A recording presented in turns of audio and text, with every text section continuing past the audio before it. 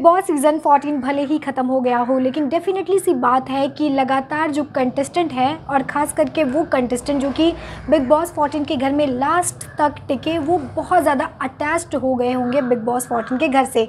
बहुत सारी ऐसी चीज़ें जिसको वो बहुत ज़्यादा मिस करते होंगे और कुछ चीज़ सोच के वो हंस रहे होंगे। हालाँकि अगर मैं कंटेस्टेंट की बात की जाऊँ तो सब अपने काम पर लौट चले हैं। कोई प्रोजेक्ट में बिज़ी हो गया है तो कोई पौड़ी यानी कि पार्टी करता नज़र आ रहा है तो कोई कहीं घूमने गया है वैकेशन प्लान कर रहा है।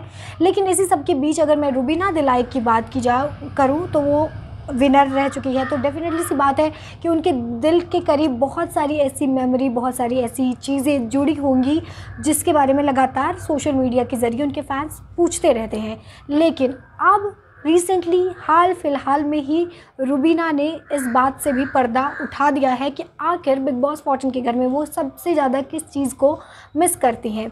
तो यहाँ पर आपको बता दूँ कि वो अपने इंस्टाग्राम अकाउंट पर एक वीडियो शेयर करती हैं। और वीडियो में रूबीना दिलाइक जो है वो डांस करती नज़र आ रही हैं।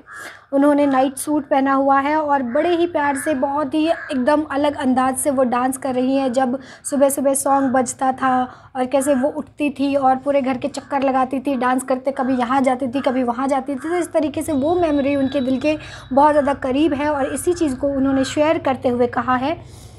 Everyone ask what do you miss the most about Bigg Boss fourteen?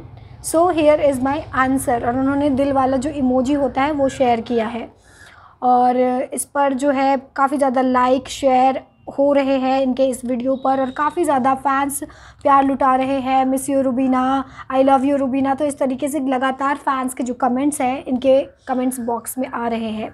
तो कहीं ना कहीं बहुत ज़्यादा मिस कर रही हैं बिग बॉस फोर्टीन के घर को रुबीना दिलायक और ख़ास करके जो उनका मॉर्निंग रूटीन था बिग बॉस के घर में उस चीज़ को। क्या कहना चाहेंगे पूरे मामले को लेकर? ज़रूर बताइए नीचे दिए गए कॉमेंट सेक्शन में और हमारे चैनल को लाइक शेयर सब्सक्राइब करना बिल्कुल भी ना भूलें। तब तक के लिए टेक केयर